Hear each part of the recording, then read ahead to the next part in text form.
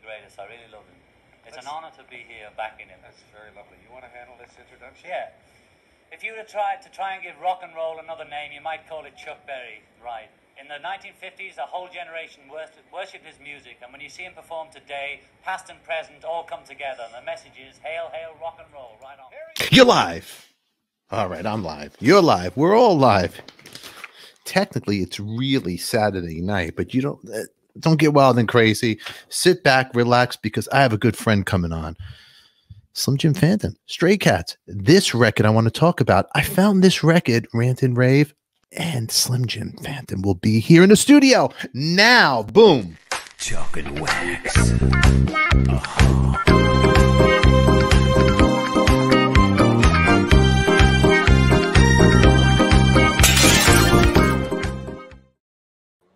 look who's knocking on my door. Look who's here. Blast off.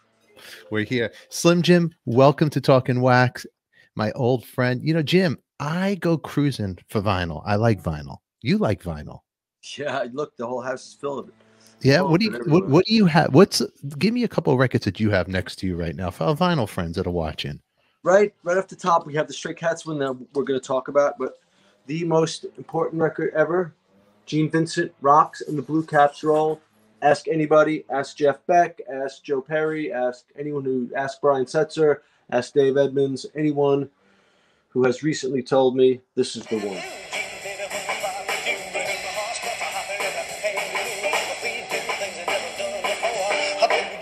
Um, there was one record store on Long Island that had the old stuff, and you can see it in the very top corner. Whirling Disc. It's got a 516 area code, Oh, that's fabulous, Jim. and it was 8.99 back then, right? That was an expensive album. Yeah, yeah. They didn't have it at Sam Goody or you know, Licorice Pizza or whatever they had back then. Um, but uh, 8.99. You remember buying that record exactly? You remember the day Oh, when you yeah. grabbed it? Tell me the Yeah. story when you grabbed that when you're a kid. I think when we went there, we, we you know would take little pilgrimages up to those in Farmingdale. So from Massapequa was just up the up the southern state a little ways, and uh, there was one store, like I said, Whirl and Disc, that sold rockabilly records and roots records. It was just some regular guy. He wasn't a rock and Yeah. a rockabilly or a rock and roll guy. He just ran an old record store. He didn't even care. Like, hey, these three kids out of the blue with uh, with pink suits and uh, high hair and black and white shoes, are all of a sudden out of nowhere, the first time ever coming into my joint and getting my records. He didn't care. He was just happy to uh, happy to sell it to us. Gene Vincent on in the back over there. They had all the Gene Vincent records. This this one I would have got later, um, but we rock around the clock. Yeah, I remember you were just talking about that. that's right. That's right. There's 20 good ones on this. ABC Boogie, Razzle Dazzle, Two Hound Dogs, with Rock on the Clock, Shake, Rattle, and Roll, Birth of the Boogie, Rock a Beat and Boogie. I mean, they're all on this one record.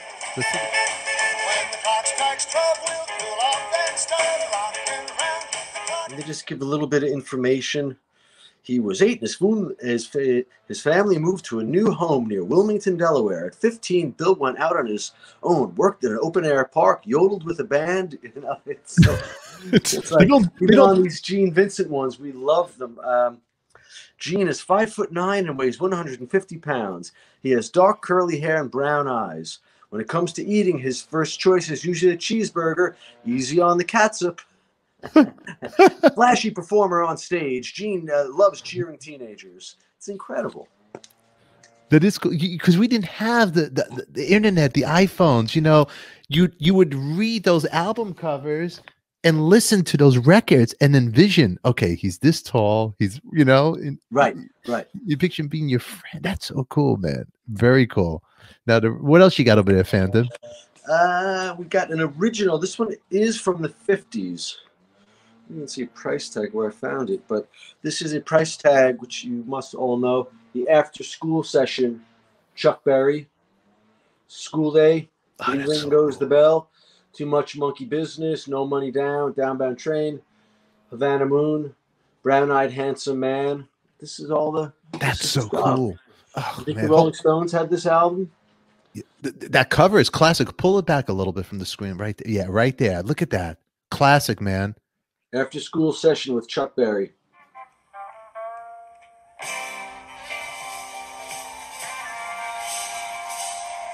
And then there's one um, that you would like, Steph, when we would go to see our old pal um, George Harrison sometimes, and uh, he had a he had a stack of records by the door when he was leaving.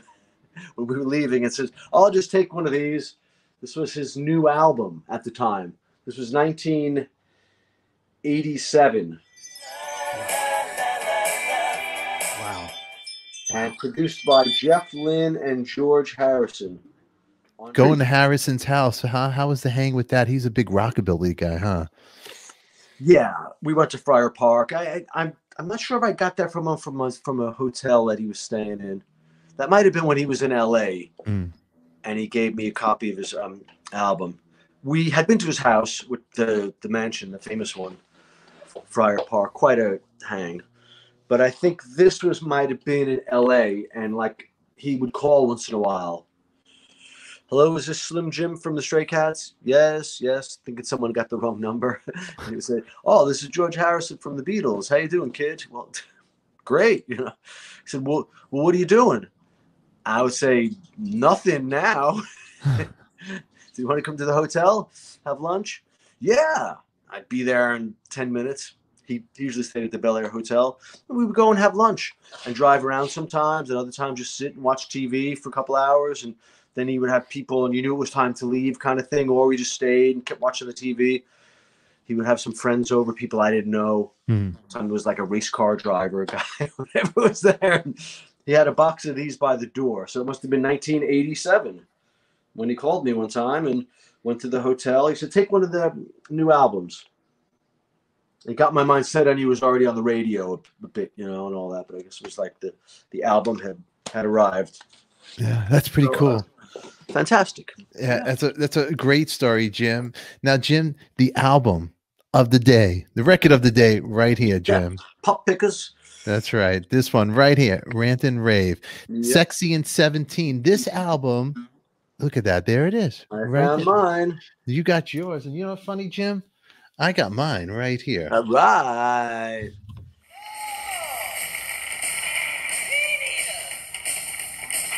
right there. What a great record. You know what's funny about this record? So was this and correct me out you're you're the guy that's been on the record yourself. So let's start. Uh sexy this album here, was this your third album? This would have been the Your third studio album was this? Am I correct? yeah, third studio album, but technically the fourth album because we had done two records in England. Because our contract is based in England, so we didn't we weren't released in America, like an import, strange kind of thing.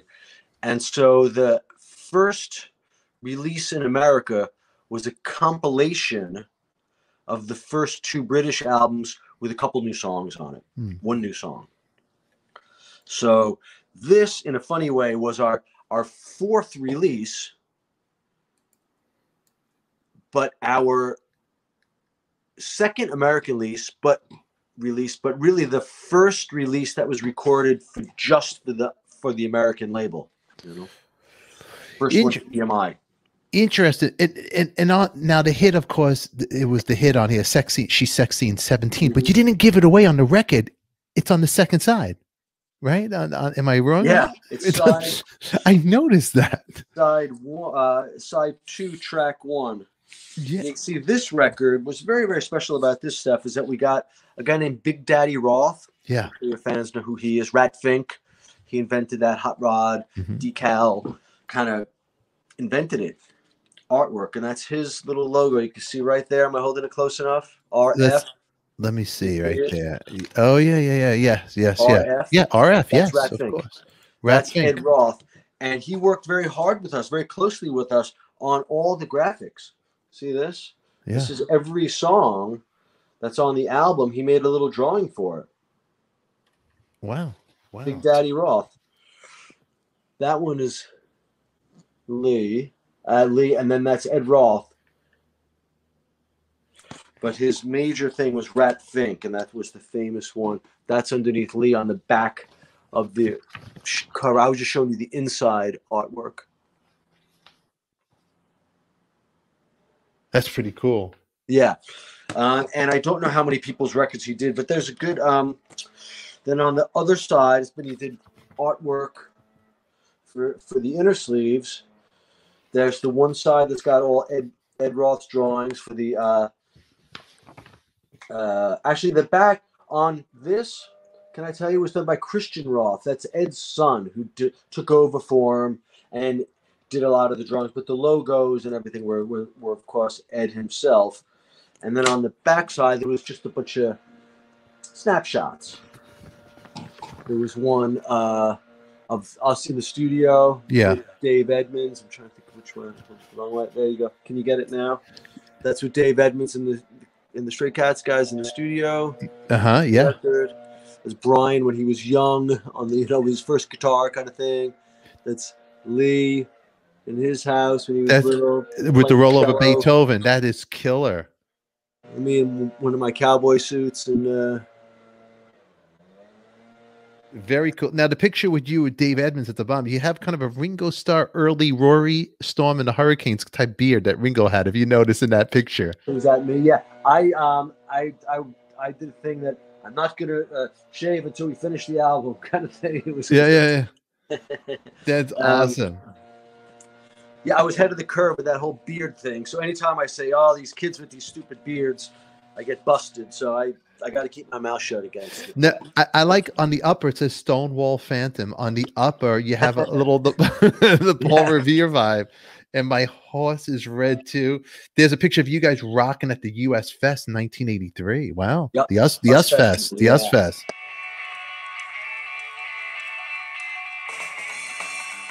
Wow. Us Festival. The us fest. Um, how was that? Us Festival is one of the mo- uh, the more um, rememberable things. I, I I do remember everything that happened. The Clash were played played that day, and we we all had to take helicopters. It was, it was over like an ocean of people, and we really arrived. Our our record was in the charts, and um, that was our moment. We went on stage during the daytime, and during the set, the sun went down and then the big giant lights came on. So it was one of those days where everything was set up for it. And there was like 300,000 people. There was something singing Rock This Town. It was on the radio. MTV was in full blast. It was like, that was our day. Yeah. And, uh, it all lined up that day. It did all lined up that day. Wow. So this record now, when you guys did this, did you have the songs written in, or you wrote you wrote it in the studio, or you had? Uh, on Rant and Rave, that was one of the times because the first, the record before this, Built for Speed, that was a compilation of the other two albums. So this was, in a way, in in a lot of ways, really the first record for EMI, the first full album Mhm. for them, because we had been on Arista, but it was uh, excluding the U.S. That's how the record contract was structured. It was so funny. So when we came to the states, Arista Records released us from the contract. Don't know why. They could have signed it and it been a hit all over the world, and they released the compilation with Built for Speed. So, th- so the next, the follow up was Rant and Rave. This one that you chose was really the first proper record for EMI and the first proper record for the state. So we had a little bit of time. We had some success.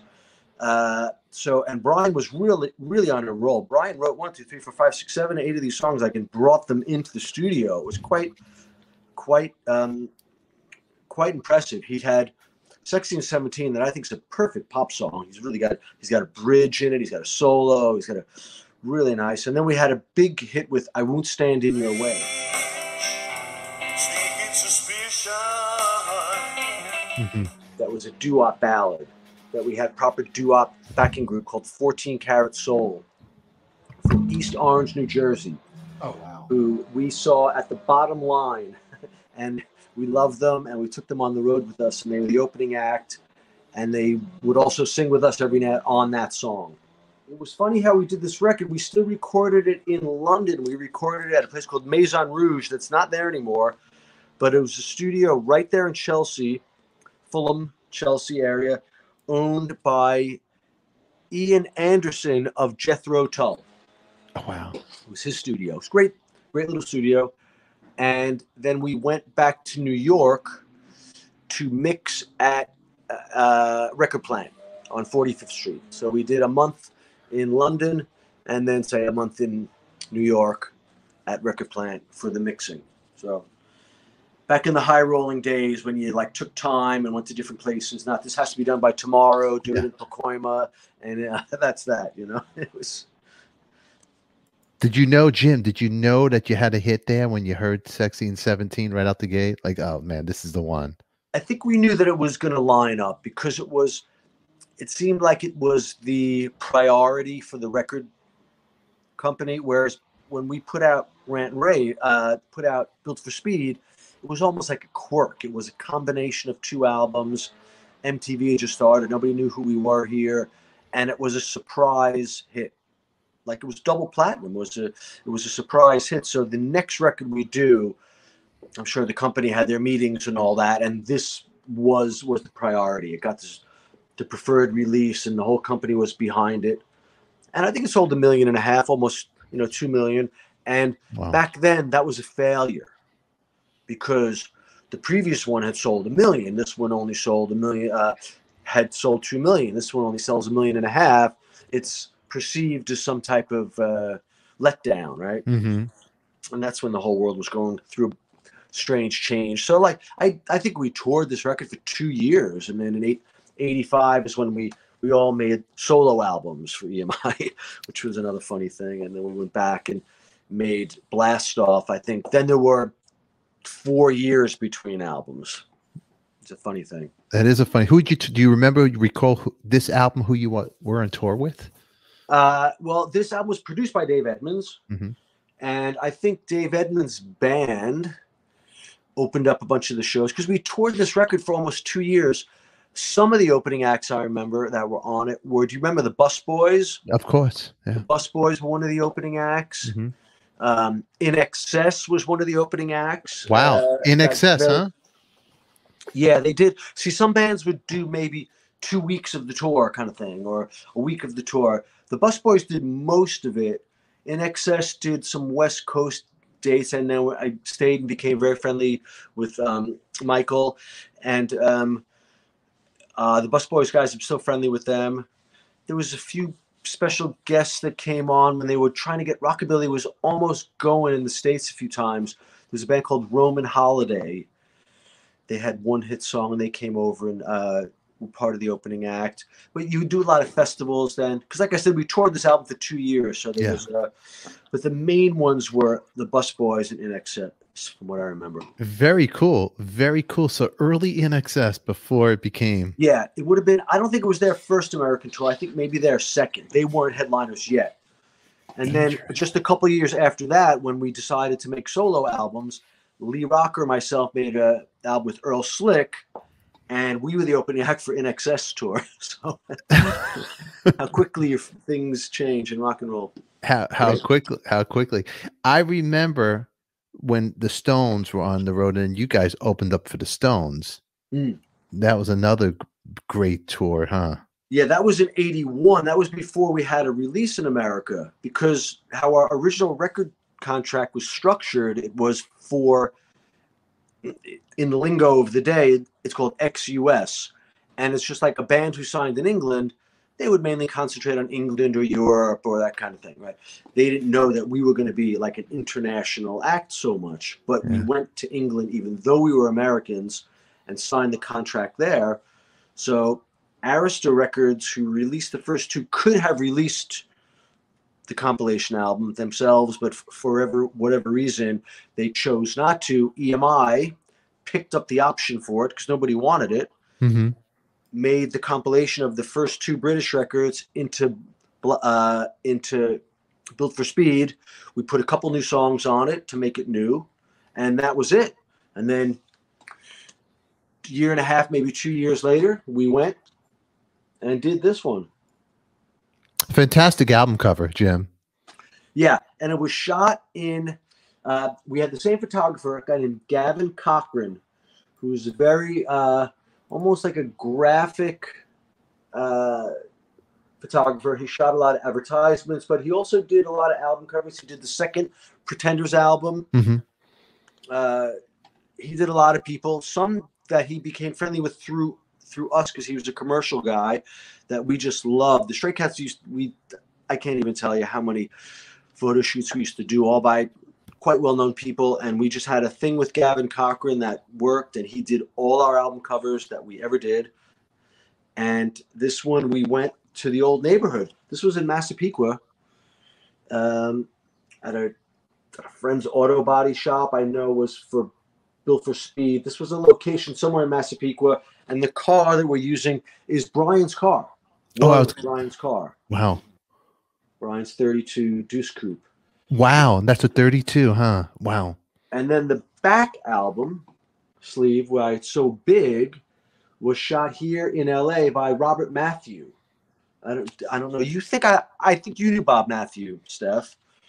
He was a guy around town, a photographer. Mm-hmm. He was a guy who worked for Creem magazine. Yeah.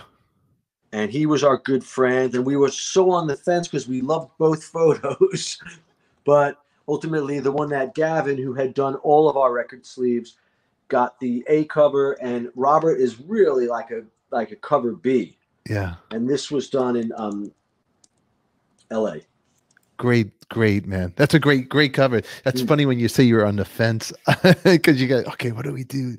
But then the, the, the car wins. Come on, the car wins. the I mean, car just-. It's yeah, the car- car we flown had had flown gavin from london you know so I mean, you you got a lot of coverage in this. Look at this. The pictures over here. If you're looking on the inside sleeve in the yeah. inside sleeve, that, that It- caused it a riff when get a lot- it it caused a riff. get that much artwork out of anyone these days. Like a label, I don't know how uh, you know into they would into it they would be right to spend Yeah. that much bread and to get all that graphic together. It's it's a lot of I mean, the, the whole stuff. The whole thing. Look at it, singing and twanging, electric folk and Hawaiian guitars.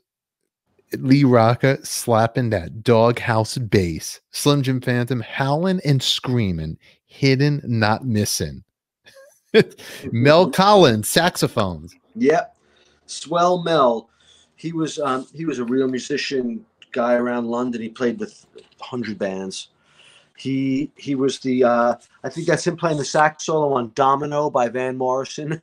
He was with King Crimson. Wow. He was kind of the session guy for London. He played on a million things, and he was a guy that we brought in to play on the record because Brian had a song called "Look at That Cadillac" that we had uh, a horn section on it, and Mel played all the different horns, just overdubbed himself with the different horns, and he became part of the gang very quickly, and he came and toured with us for years. Wow. That's pretty cool. Mel Collins. That's great. What were you listening to back then on the making of this record? Do you recall what you were listening to back then? Um, I do know that we would have gotten into a lot of jump blues, a lot of stuff like. Uh, let me show you. I know that we would have been into stuff like this. show you right here. You see that? Big Yeah. Joe Turner. Yeah. because it's rockabilly that album, but it's definitely got a jump blues, like a '40s kind of blues style on there that we love. So this was Joe Turner. Big Joe Turner, the daddy of the blues. And I like to set a tempo sort of like this for him to bring him on so I can give him to you. Hey, Joe. Joe Turner. Come on in.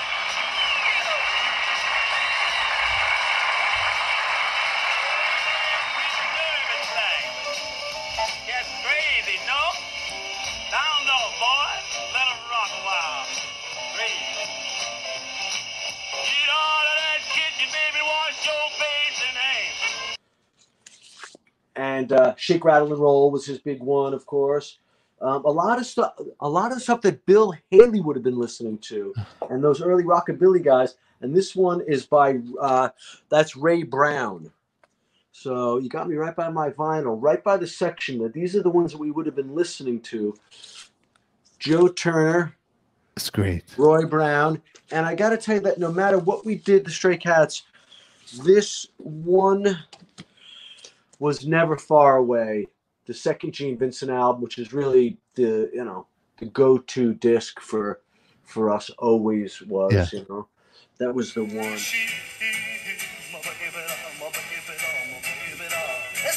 And there would there would have been always very close by.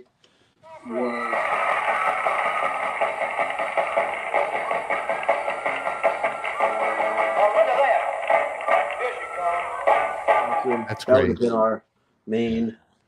That's our cool. main one, really, that Eddie Cochran and that Gene Vincent, they would have been the real, the main ones that we would have never gone too many days in a row that you didn't listen to that.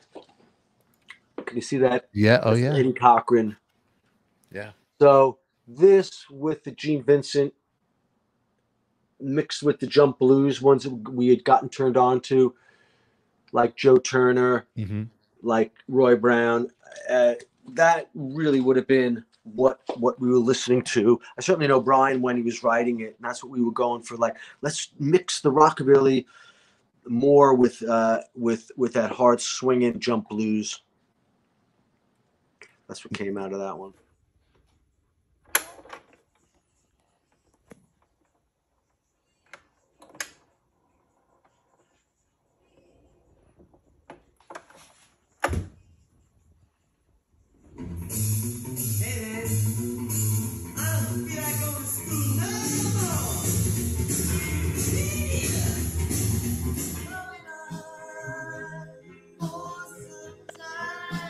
Great one, Steph. I know you'll like that one. Slim Jim, where could everybody find you in Sirius? Tell them about your Uh. Sirius XM every Sunday at 5 p.m. Pacific time. We do the Rockabilly Rave Up with me, your Rockabilly buddy Slim Jim Phantom, right here in Little Stevens Underground Garage, Sirius XM, Channel 21. Channel 21. Okay, everybody, we love you. Remember, God bless you all, everyone. Thank you, Jim. Thanks, Steph. All right, here we go. Talking wax, pow.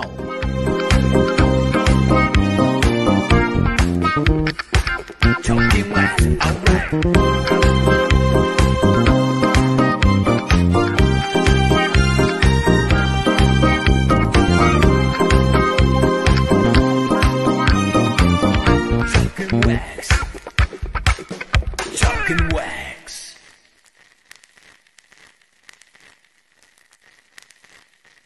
Now, before we go, everybody, you're going to click over there, over there, over there, and over there, over here. Share, share.